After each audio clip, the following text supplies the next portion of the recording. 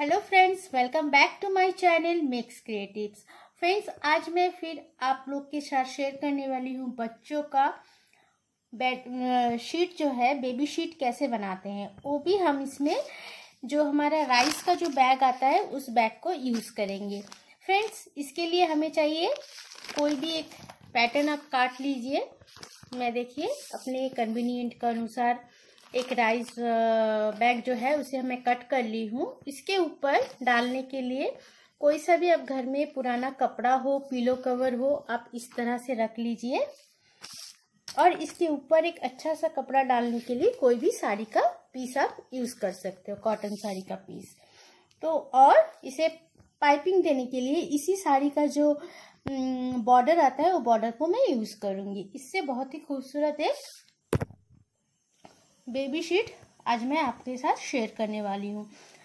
Friends baby sheet तो हम online भी मंगा सकते हैं और हमारा जो मार्केट में भी एक से बढ़कर एक अवेलेबल है। बट अभी जो दौर चल रहा है कोरोना का चल रहा है यहाँ से हम लोग बाहर का सामान थोड़ा अवॉइड कर रहे हैं खास करके जो नया जन्म लिया हुआ बच्चों के लिए। सो so, मैं इसीलिए आपके साथ ये वाला शेयर करने वाली हूँ। तो मैं इसे कैसे बिछाऊँगी वो मैं आपको बताती हूँ। देखिए फ्रेंड्स इसे मैं बिछा ली हूँ। नीचे हम एक अच्छा साड़ी का कोई भी आपका बेड शीट हो या साड़ी का पीस हो रखेंगे। उसके बाद हम फ्लोर का जो शीट होता है वो रखेंगे।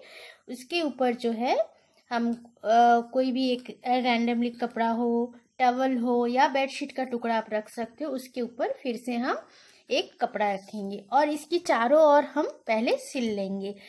ये शीट जो है, आप बच्चों को डायरेक्ट बेड के ऊपर डाल के रख सकते हो। इससे जो छोटे बच्चे जो बार बार शूशू करते हैं, इससे वो शूशू ड्रेन होकर आपका बेड को नुकसान नहीं पहुंचाएगा।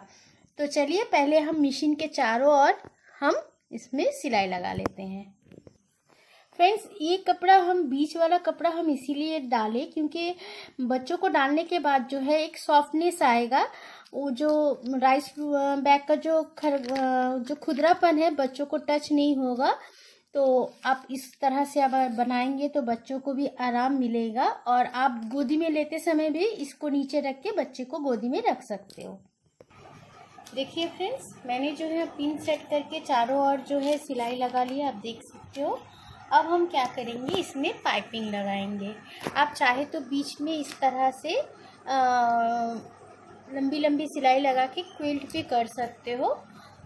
अगर आप क्विल्ट नहीं करना चाहते तो ऐसे ही रख सकते हो और साइड में हम पाइपिंग लगा लेंगे। देखिए फ्रेंड्स ये जो पाइपिंग जो साड़ी का ये जो बॉर्डर है इसे हम इस तरह से पाइपिंग जैसी लगा के इसकी चारों ओर सिलाई लगा लेंगे। तो ये देखने में बहुत खूबसूरत होगी और ये जो है आपका इजी वॉश है और जल्दी से जल्दी ये सूख भी जाएगी। तो चलिए हम इसमें पाइपिंग लगा लेते हैं। तो फ्रेंड्स, देखिए बेबी शीट बन के जो तैयार है। आई होप कि आज की वीडियो आपको अच्छी लगी हो। अच्छी लगी है तो प्लीज़ मेरे चैनल को सब्सक्राइब कर लीजिए लाइक करिए और अपने फ्रेंड्स और फैमिली में शेयर ज़रूर करें। कल एक नए वीडियो के साथ आपसे मिलूँगी, तब तक के लिए बाय बाय